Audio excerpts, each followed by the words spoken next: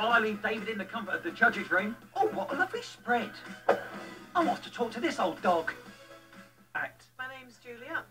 This is Wolfred. What are you doing? He sings. You what? He sings. Are you serious? Yeah. What's he singing? He howls along to the theme tune to Captain Pugwash. Obs. Can we hear a bit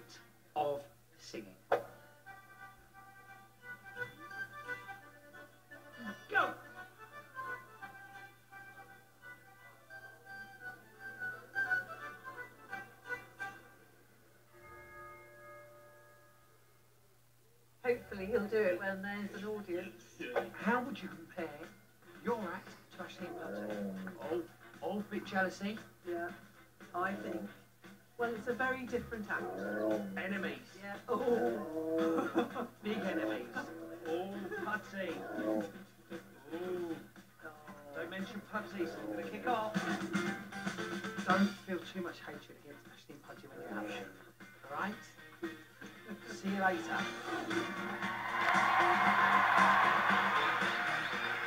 You are. I'm Julia. This is Wolfred. Okay, so this is obviously a dog act, yeah? Yes. Why you're a billionaire, isn't it? He's brought his little dog friend with him. He's being well looked after. He is being well He looked is after. actually, He yes. is. Yes, actually, he is. We wish you the best of luck.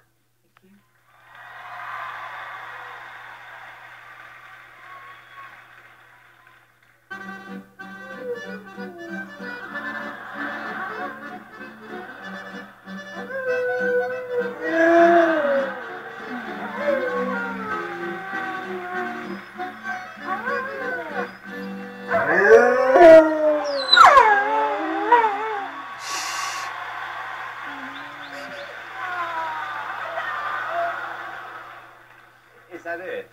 Yeah. Oh, I thought they were going to do something together. Oh, no, no, no, no. Okay, David, what do you think? It reminded me of some of Alesha's solo work. Um, Alesha. He's very, very beautiful, and I think you should keep the mate there because that just added more cuteness to the whole act. Amanda. Has he got a second song? No. Just one song. One song. Do you want it again? Do it again? I have to say, I think he's, he's better than a lot of singers we've had on this show. Okay. Go on.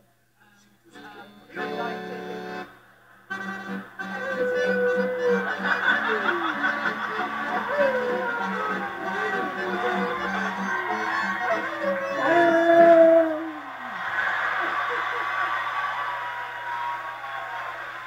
So, if we're going to go forward into the next round, he has to learn a second song, right? If we found you something really annoying to listen to, Give it a go. have you heard of a record called Let's Get Ready to Rumble?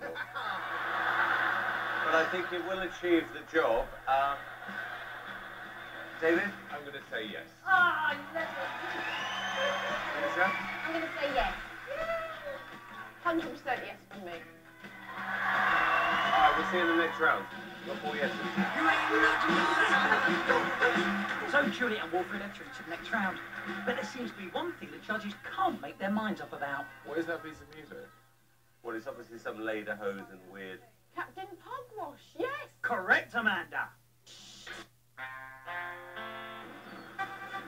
Oh, look, there's a pirate ship sailing down the Thames. I think it's Captain Pugwash. And he's trying to tell us something. It's the quiz show marathon with Anton Deck. I wonder what game they be playing this week and why they be playing it. Because they are. You know what? Because we pay good dough